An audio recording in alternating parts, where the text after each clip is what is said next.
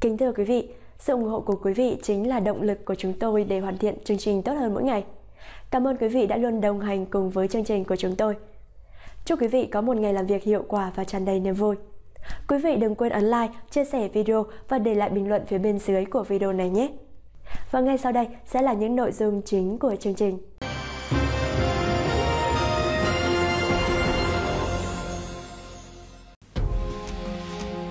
Bắc Giang nếu không ngăn được dịch, sắp tới sẽ rất khó khăn.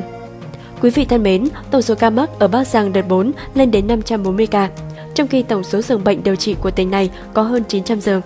Hiện tại, nhân lực của tỉnh đã cạn. Tiểu ban điều trị của Bộ phận Thường trực hỗ trợ đặc biệt của Bộ Y tế đã có cuộc họp khẩn với Ban chỉ đạo phòng chống dịch bệnh của tỉnh Bắc Giang nhằm đưa ra những đánh giá tình hình và đề xuất hướng giải pháp kịp thời. Nhân lực ngành y tế thiếu nhiều, báo cáo sơ lược tình hình với các cơ sở thực hiện ung dung điều trị, ông Bùi Thế Bừng, Phó Giám đốc Sở Y tế Bắc Giang cho biết, theo con số thống kê mới nhất, hiện nay số giường bệnh của Bệnh viện Đa khoa tỉnh 100, Bệnh viện Phổi tỉnh Bắc Giang 213, Bệnh viện gia chiến số 1 220, Bệnh viện Phục hồi chức năng tỉnh Bắc Giang 160, Trung tâm Y tế huyện Yên Dũng 150, Trung tâm Y tế huyện Lạng Giang 140. Sắp tới sẽ đưa vào hoạt động thêm 1.500 giường, tổng dự kiến số lượng giường là từ 2.500 đến 2.700 giường. Bên cạnh đó, đoàn cán bộ Bệnh viện Bạch Mai đang tiến hành khảo sát thiết lập trung tâm hồi sức tích cực ICU tại hai tầng của Bệnh viện Phổi Bắc Giang với quy mô 58 giường để điều trị bệnh nhân nặng.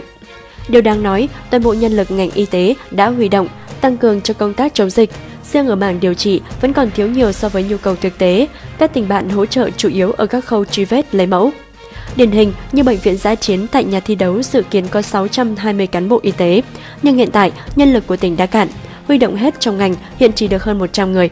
Trong trường hợp Bộ Chỉ huy Quân sự tỉnh có thể hỗ trợ 300 người, đồng thời huy động thêm nguồn lực tại một số huyện để đào tạo thì mới tạm thời có thể đáp ứng được. Về tình hình cụ thể tại các bệnh viện trên địa bàn tỉnh Bắc Giang, các giám đốc bệnh viện đang điều trị bệnh nhân mắc dịch bệnh đều cho biết, hiện mọi việc tạm thời đang trong tầm kiểm soát, sức khỏe của người bệnh đều ổn định. Tuy vậy, nếu tình hình dịch diễn ra tại địa phương không sớm được ngăn chặn thì các đơn vị sẽ gặp rất nhiều khó khăn. Ba giải pháp từ chuyên gia Bộ Y tế Theo đánh giá của ông Nguyễn Trọng Khoa, Phó Cục trưởng Cục Quản lý Khám chữa bệnh, Bộ Y tế, có thể nói Bắc Giang là một trong những địa phương tiến hành công tác thiết lập bệnh viện giã chiến thần tốc, gói gọn trong vòng chưa tới một ngày. Ông Khoa đã liệt kê một vài giải pháp cấp bách Trước đó, Bắc Giang cần khẩn trương tìm địa điểm phù hợp để tiến hành xây dựng bệnh viện giã chiến mới nhằm tăng quy mô 2.500 lên 3.000 giường bệnh để chủ động ứng phó với những tình huống xấu nhất có thể xảy ra. Thứ hai, cần ổn định tổ chức bộ máy để các cơ sở điều trị hiện tại có thể phát huy tối đa những khả năng sẵn có.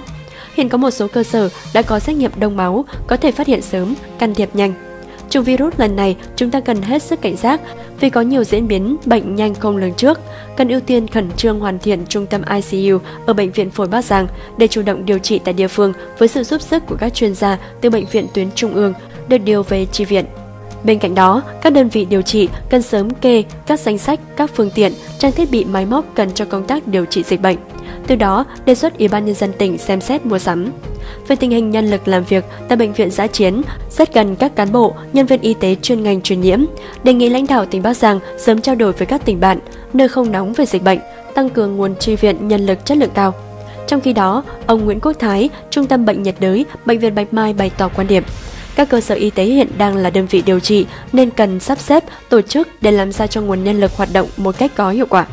Mấu chốt nằm ở chỗ, các đơn vị cần phân ca kíp làm việc cho nhân viên một cách khoa học, nên áp dụng theo mô hình 3K 4 kíp một cách thường xuyên. Ông Lê Ánh Dương, Chủ tịch Ủy ban nhân dân tỉnh Bắc Giang đã nêu cao quyết tâm. Bằng mọi giá, Bắc Giang không được để cho bệnh nhân nào tử vong, luôn xem tính mạng, sức khỏe của người dân là trên hết. Bắc Giang lên kế hoạch tiếp nhận 3.000 bệnh nhân nhiễm dịch bệnh.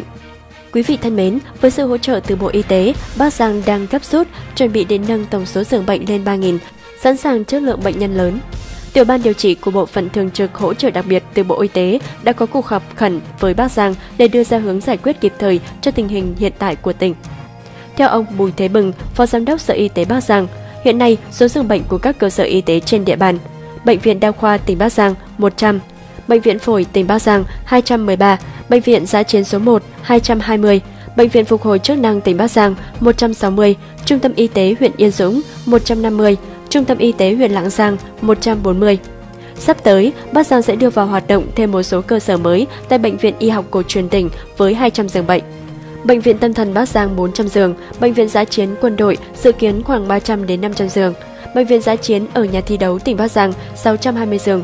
Dự kiến tổng số giường bệnh của tỉnh trong thời gian tới là 2.500 đến 2.700. Ông Bừng cho hay. Về vấn đề này, ông Nguyễn Trọng Khoa, Phó Cục trưởng Cục Quản lý Khám chữa bệnh, đánh giá Bắc Giang là một trong những địa phương thiết lập bệnh viện giã chiến thần tốc với chỉ chưa đầy một ngày. Với quyết tâm đó, cùng với sự chi viện kịp thời dù số ca bệnh ở tỉnh tăng nhanh, Bắc Giang vẫn kiểm soát được tình hình. Tuy nhiên, ông Khoa cho rằng Bắc Giang vẫn cần khẩn trương tìm địa điểm phù hợp để xây dựng bệnh viện giã chiến mới nhằm tăng quy mô tiếp cận bệnh nhân lên 3.000 giường để chủ động ứng phó khi có tình huống xấu xảy ra. Ngoài ra, về vấn đề điều trị, đoàn cán bộ của Bệnh viện Bạch Mai Hà Nội cũng đang khảo sát thiết lập trung tâm hồi sức tích cực ICU tại hai tầng của Bệnh viện Phổi Bắc Giang với quy mô 58 giường đều điều trị bệnh nhân diễn biến nặng. Theo đại diện Bắc Giang, một vấn đề nghiêm trọng là nhân lực cho mảng điều trị của tỉnh vẫn thiếu nhiều so với nhu cầu thực tế. Ngoài ra, điểm hạn chế chung của các cơ sở y tế tại Bắc Giang là vấn đề kiểm soát nhiễm khuẩn khi hầu hết các nhân viên y tế chưa có kinh nghiệm điều trị bệnh truyền nhiễm, cộng thêm thiếu thốn về trang thiết bị.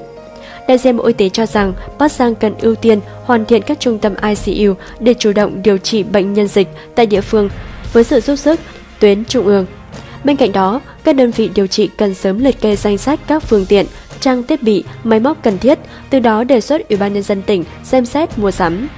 Về nhân sự, ông Qua đề nghị lãnh đạo tỉnh Bắc Giang sớm trao đổi với các tỉnh bạn những nơi không nóng về dịch để tăng cường chi viện nguồn nhân lực chất lượng cao. Ông Nguyễn Quốc Thái, Trung tâm Bệnh nhiệt đới, Bệnh viện Bạch Mai góp ý, các cơ sở y tế cần sắp xếp, tổ chức để làm sao cho nguồn lực hoạt động hiệu quả. Mấu chốt nằm ở chỗ, các đơn vị cần phân ca kíp làm việc cho nhân viên một cách khoa học, nên áp dụng theo mô hình 3K, 4 kíp một cách thường xuyên. Nguyên Phó Chủ tịch Cánh Hòa Đào Công Thiên bị bắt Quý vị thân mến, ông Đào Công Thiên, nguyên Phó Chủ tịch Ủy ban nhân dân tỉnh Khánh Hòa bị bắt tạm giam điều tra về tội vi phạm các quy định về quản lý đất đai theo quy định điều 229 Bộ luật hình sự. Công an tỉnh Khánh Hòa cho biết đã ra quyết định khởi tố bị can về tội vi phạm các quy định về quản lý đất đai theo quy định điều 229 Bộ luật hình sự. Lệnh khám xét chỗ ở và lệnh bắt bị can để tạm giam đối với ông Đào Công Thiên, 59 tuổi, nguyên Phó Chủ tịch Ủy ban nhân dân tỉnh Khánh Hòa Công an tỉnh Khánh Hòa đã ra quyết định khởi tố bị can về tội vi phạm các quy định về quản lý đất đai theo quy định tại điều 229 Bộ luật hình sự. Lệnh khám xét chỗ ở, lệnh khám xét nơi làm việc và lệnh bắt bị can để tạm giam đối với ông Võ Tấn Thái, 60 tuổi, nguyên giám đốc Sở Tài nguyên và Môi trường. Ông Thiên và ông Thái là những người được xác định có vi phạm nghiêm trọng quy định pháp luật trong việc giao đất vàng tại số 1 Trần Hưng Đạo, thành phố Nha Trang, tức khu đất của trường chính trị tỉnh Khánh Hòa cũ. Theo điều tra, năm 2014, Ủy ban nhân dân tỉnh Khánh Hòa đã đồng ý cho công ty cổ phần Thanh Yến thực hiện dự án BT xây dựng trường chính trị tỉnh tại xã Phước Đồng, thành phố Nha Trang với mức đầu tư 149 tỷ đồng. Không qua đấu giá, doanh nghiệp được hoàn vốn bằng quỹ đất hơn 7.300 m2, hai mặt tiền ở đường Trần Hưng Đạo và Lý Tự Trọng ở trung tâm thành phố Nha Trang. Tháng 7 năm 2016, Ủy ban nhân dân tỉnh Khánh Hòa đã phê duyệt khu đất cho doanh nghiệp với giá khoảng 22,5 triệu đồng một mét vuông đối với đất ở đất thương mại dịch vụ là hơn 7,8 triệu đồng một mét vuông. Tổng giá trị khu đất là hơn 114 tỷ đồng, còn được cho là rẻ hơn rất nhiều so với quy định và giá thị trường, gây thiệt hại nghiêm trọng cho nhà nước. Cũng trong năm nay, Ủy ban nhân dân Khánh Hòa cấp giấy chứng nhận cho công ty trách nhiệm hữu hạn Đỉnh Vàng Nha Trang làm chủ đầu tư dự án Nha Trang Golden Gate với diện tích hơn 14.220 m2,